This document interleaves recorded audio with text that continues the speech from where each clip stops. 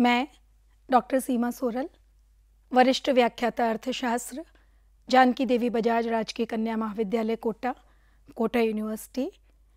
आज आपके सम्मुख मांग की लोच के बारे में आपको विस्तार से बताना चाहती हूँ। मांग की लोच अर्थशास्त्र के उपभोग वाले जो पोर्शन है, उसका एक बहुत महत्वपूर्ण भाग है। जब हम मांग का नियम पढ़ते हैं तो मांग का नियम तो मांग और कीमत के संबंध में जबकि कीमत स्वतंत्र चर है और मांग एक निर्भर तत्व है, उसके बीच में एक, उनका संबंध बताता है क्वालिटेटिव स्टेटमेंट है, मांग का नियम। लेकिन मांग की लोच, कीमत और मांग का एक क्वांटिटेटिव या गणात्मक कथन है। अब हम देखते हैं कि इलास्टिसिटी ऑफ़ डिमांड कितने प्रकार की होती हैं।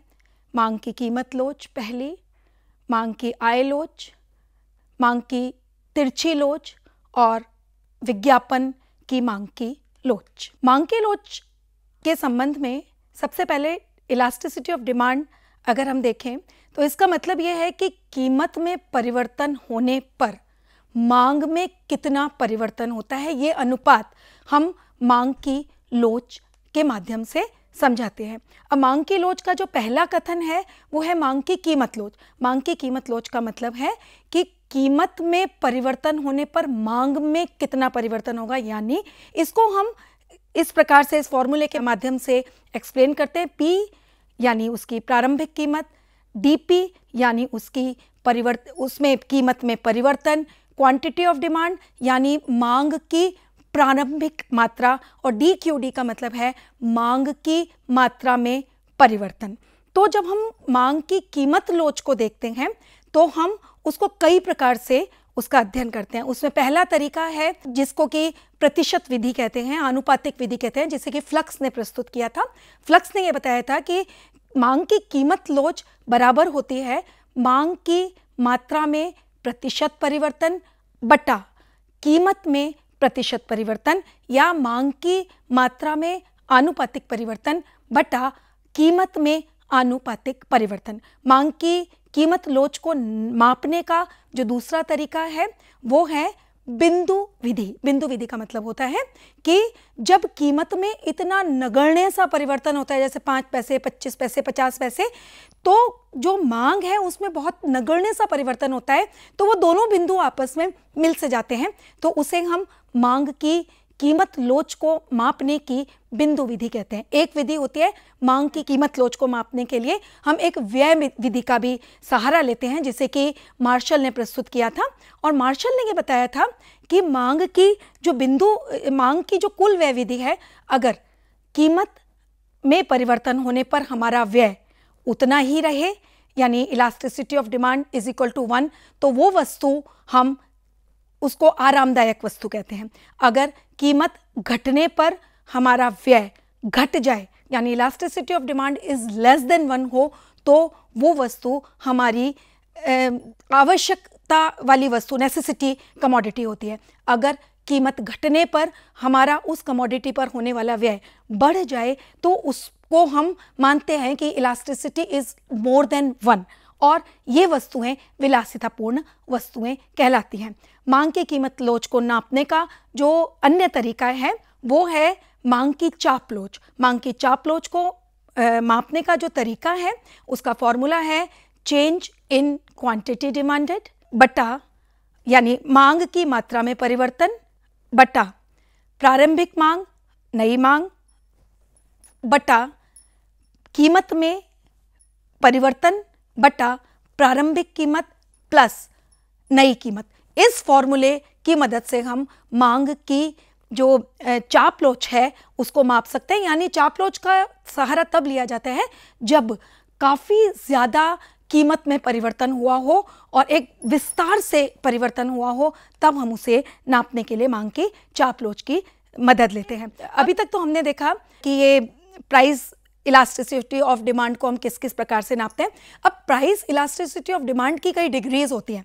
जैसे ये जो डायग्राम है, ये प्राइस इलास्टिसिटी ऑफ़ डिमांड की इनफाइनाइट होने की कंडीशन बता रहा है, यानी कीमत में नगण्य परिवर्तन होने पर भी या ज़ीरो परसेंट परिवर्तन होने पर भी मांग में अचानक से कमी आ जाना या बढ़ जाना, ये हमारा price elasticity of demand infinite होने का डायग्राम है।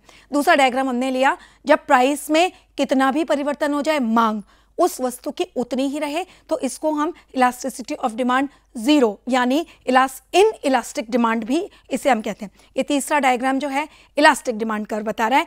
जो ये बता रहा है कि इलास्टिसिटी ऑफ़ डिमांड इकाई से ज़्यादा है, यानी आप देखिए कीमत में पी वन पी टू परिवर्तन हो रहा है, लेकिन उससे ज़्यादा मात्रा में क्यू वन क्यू टू उससे बड़े आकार का एक एरिया है। तो कीमत की तुलना में जो हमारी मांग है, उसमें ज़्यादा परिवर्तन होता है, इसको हम इलास्टिक डिमांड कहते हैं। यानी इसको हम ये भी कह सकते हैं कि elasticity of demand is more than one ये देखिए, ऊपर वाला जो कर्व है, वो कम इलास्टिक है, नीचे वाला जो कर्व है, वो ज़्यादा इलास्टिक है। इस प्रकार से हम दो कर्व्स की भी तुलना हम इलास्टिसिटी ऑफ़ डिमांड के संदर्भ में कर सकते हैं।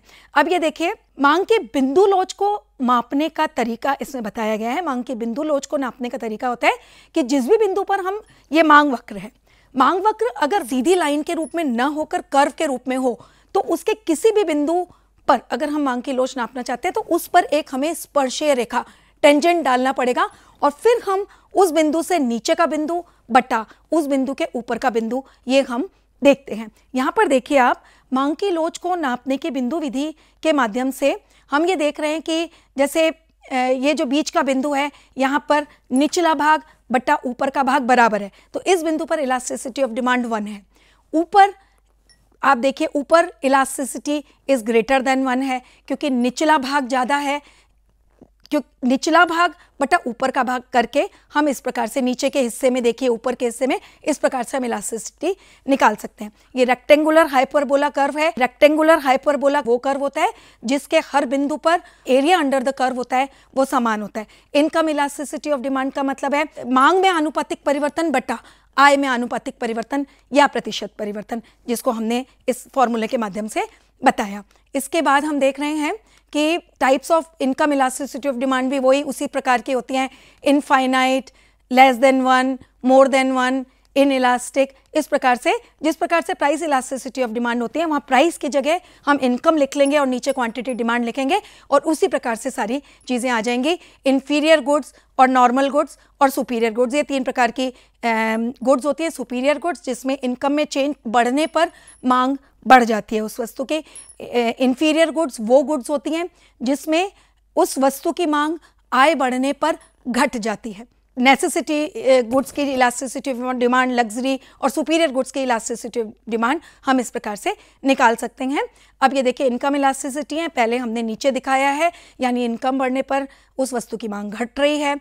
नॉर्मल गुड्स में एक सीमा तक इनकम बढ़ने पर उसकी मांग थोड़ी सी बढ़ती है, बाद में वो इनकम का ज़्यादा प्रोपोर्शन उस पर खर्च नहीं करता है।